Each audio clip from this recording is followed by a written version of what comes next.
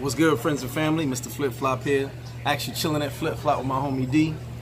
Sitting over here and um, just, you know, decided to do a video about helpful tips when in Dominican Republic. Not just Sosua, basically Dominican Republic. And it could kind of be for anywhere when you travel. You know what I'm saying? Just basic common sense tips or basic things you should know and you should do when you're traveling to another country. Uh, first, people were asking me about the couple that disappeared I don't really like touching on, on tragic situations to make light of them. Um, but people were going on and on hitting me like, hey, they got kidnapped. And I told people that really doesn't happen here. Um, it's a very unfortunate event. And, you know, they were driving at night and got into an accident. You know, they're still investigating the situation. But as I tell people, driving it, driving here, period, is dangerous. But driving at night is even more dangerous. So, um, like I said, I won't really speak on that. I have a video at the end of this with my Dominican homeboy driving on the road at night so you can see how it looks when you're driving at night. Okay, so let's get in these tips. Um, best tips, well, my tips for traveling Dominican Republic. So, first off, I'd say I think one of the number one things you need to know is dealing with reputable people. Meaning, everyone that says, hey, I know you, or hey, my friend, you know, is not your friend. And everyone that speaks English is not your friend, even if they're an expat. I've told you guys that before. Um, so you know, when I say reputable people, a driver or, or a tour guide or you know uh, a guide as I call them, which someone has recommended to you, will be better than you just going and meeting somebody off the street and them latching on to you and and you know leeching off of you. It, it becomes now you're paying for your trip and and you're paying for them while you're on your trip. You know, so if you feel you need a guide, you feel you need an interpreter, you need somebody to drive for you, go with someone reputable who's recommended by someone you know um, this way, you know, there's less of an issue because they've been recommended and the people know, okay, this guy's a good guy, you can deal with him. You know, so like I said, even expats. You got a lot of expats that are full of shit, honestly. So, you know, reputable people and be careful, you know, be careful who you deal with. Like I said, everyone that speaks English is not your friend. Also, another thing is just don't be too flashy. I mean, some guys like to have their jewelry on their ice. Really no need for it. Um, I say you can lead with your personality.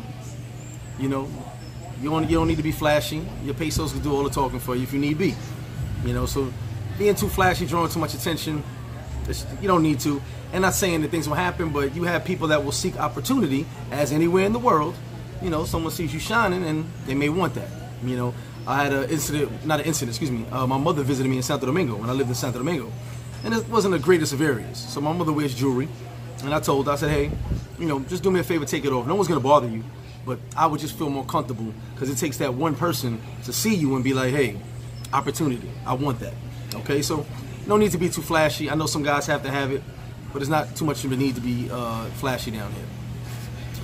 Um, another thing I would say, another tip is be respectful of your surroundings. And I say that to say this. I had a guy recently that was just cursing out all the locals the reality is we're in their country, you know, so you want to be respectful. You know, you don't just want to treat them like they're nobody. You know, the same way when they come to our country, we expect that them to be respectful of our country. They, they actually require the same respect. And it's just, you know, your surroundings, man. You, you don't want to make enemies and piss people off when they haven't done anything to you. You know? Um, another tip, which I tell everybody all the time, change your money. I know some of you really don't care about changing your money and you'll spend dollars everywhere and anywhere. But the reality is you're losing money on the conversion rate. Most businesses do not have to change your money at the going rate. You get changed at a very, very low rate and you lose. So if you change your money over to pesos, well, in the Dominican Republic, pesos, um, you save money and you get more bang for your buck. So change your money. I would not recommend changing your money at the airport because you get a really low rate Everybody knows here at Flip Flop, I have Mateo who comes to you, changes the money. You can go to Western Union, you can go to Caribbean Express with your passport. They will change your money also. Change your money. I see people spending dollars all the time, and the reality is you lose on the conversion.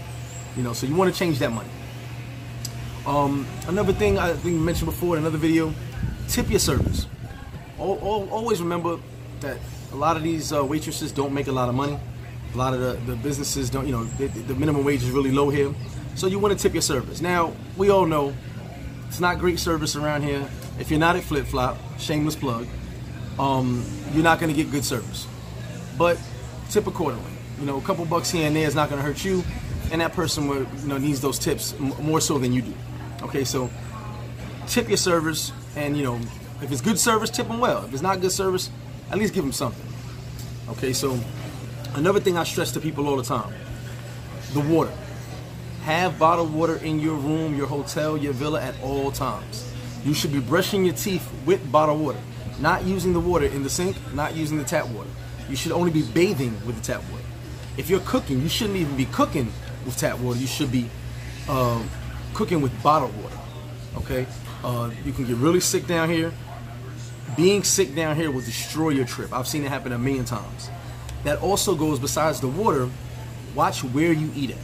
I myself have been a victim of eating in the street because I was hungry and I got sick. And you know what happens? Everywhere does not prepare food the same way each place. Some people will mix the old food with the new and sell it to you, and you won't know. So just watch where you eat. Be mindful of where you eat um, to avoid getting sick. So as I said, with the water and the food, just be mindful of that. And always use bottled water. Always. Uh, if you want to get a SIM card, you can go to Orange or Altice. Well, Altice is Orange now, excuse me. Altice or Claro, 100 pesos, and your passport, and you get a SIM card. If your phone's already unlocked, just throw the SIM in and you're on the Dominican network. I recommend getting a SIM card only because it's easy to use the numbers down here rather than using your phone unless you're on Wi-Fi. So we'll go back to the money real quick. Manage your money. And I say it like this. If you get pesos, the pesos are kind of seem like monopoly money. So you want to manage your money. The money can go really fast and if you're not paying attention. I've explained to you guys before, the conversion rate right now is 50.50 per, per US dollar. It's actually 50.60, I believe, today. But what you want to do is realize that 50 pesos is every dollar. For every dollar you have is 50 pesos. So 50 pesos is a dollar, 100 pesos is $2, 200 pesos is $4, 500 pesos is $10, and 1,000 pesos is $20. That's going by just the 50. Now also, when I tell you that the conversion rate is 50.60, that's not what you're going to get in the street or Western Union. Western Union right now, I believe, is 50-40 right now. Okay, that's what they're going to give. Some guys in the street will give you 50. Some will try to give you 49. My guy Mateo, he's given, I believe I got from him 50-35 yesterday. Okay, so you want to be mindful of that. Where you're changing your money and to manage your money properly. Also, when it comes to managing your money, watch your pockets. I'm to say it again. Watch your pockets you are not Denzel Washington. When all these women run up on you and grab you, they're going in your pockets. Okay? So you're not Denzel. If you are Denzel, okay, they, they love you. But you're not Denzel. When you get three, four girls grabbing on you, hugging on you, caressing you, Poppy, I love you, uh, you know, sorry. They're not doing it because they like you. They're not doing it because you're an idol. They didn't see you on TV last week. They're going in your pockets. It's a normal thing down here. It happens all the time. I tell people, don't let anyone touch you. Watch what you wear as far as you when you wear basketball shorts, when you wear sweatpants.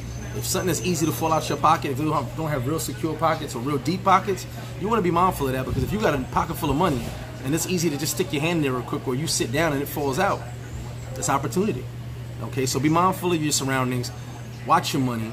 Watch your pockets. Okay, so these are my tips. I, I, feel these are things people need to know when they travel, especially Dominican Republic. And this is for everywhere in Dominican Republic, not just Sosua. Um, so follow those tips if you want. Hopefully you'll uh, you'll follow them, and uh, I believe they're good tips that everybody should know when they're traveling.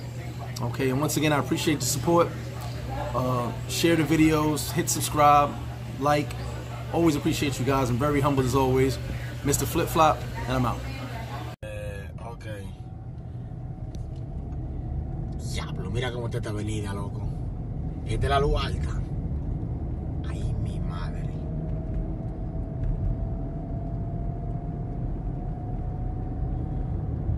Vamos a ver hasta dónde está así. Negro.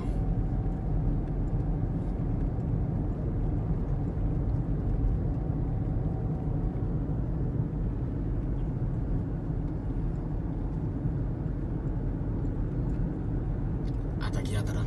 Diablo, eso es para quitar los motores, loco. Eso está heavy para quitar los motores.